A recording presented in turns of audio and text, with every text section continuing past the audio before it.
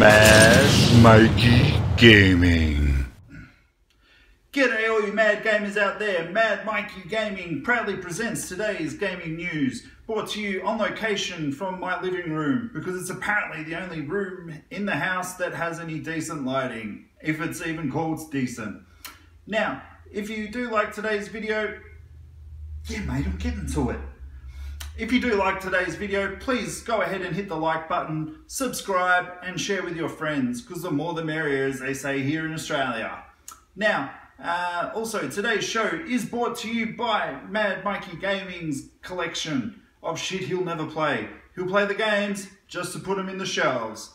And without further ado, the first bit of news today is that the critically acclaimed game the Witness, which has previously been released on the PlayStation 4 and PC, is due to come out on September 13 on the Xbox One.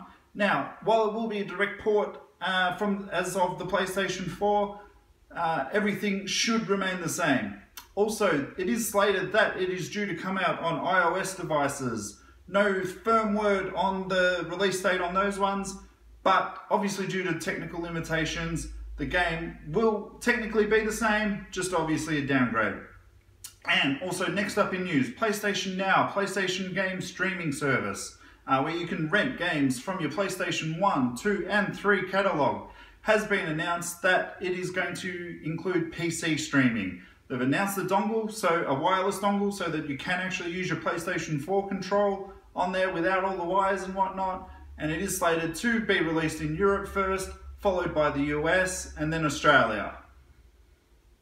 What? Oh, you've got to be kidding! And in breaking news, PlayStation Now is not available in Australia, thank you to crappy internet. All praise the Liberal Party. They took away the best thing that we had coming for us. Real NBN.